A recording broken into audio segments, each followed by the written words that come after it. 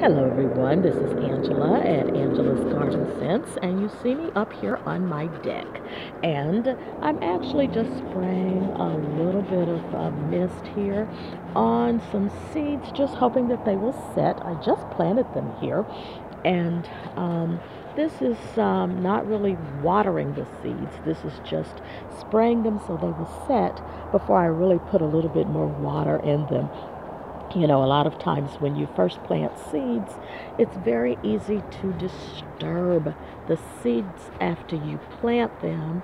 So this is just just so that they will set when I really water them more thoroughly.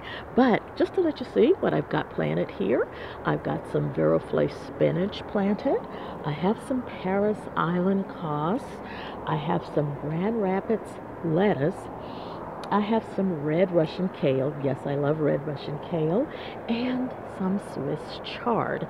And down here, I also have some carrots. Now, I was not successful with carrots at all.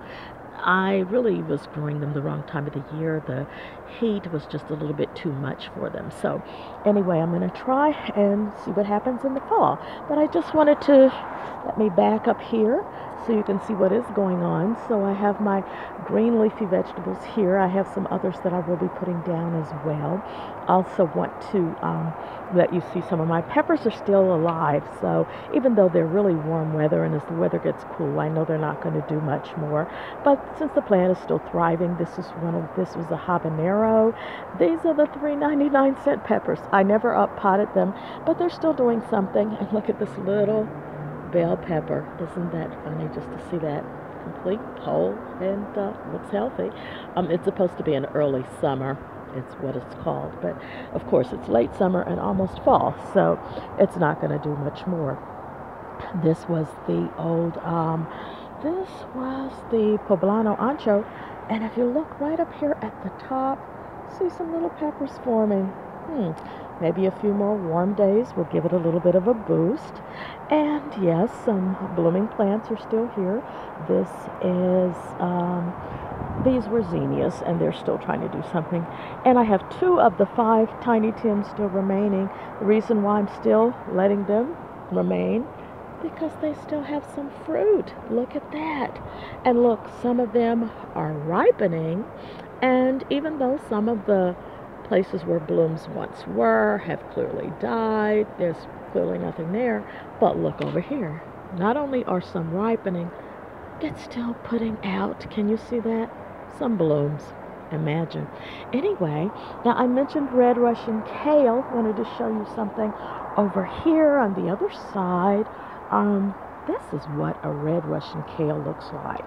Isn't this absolutely beautiful? It's wonderful to go into a salad, and the leaf is really quite quite a beautiful leaf as well.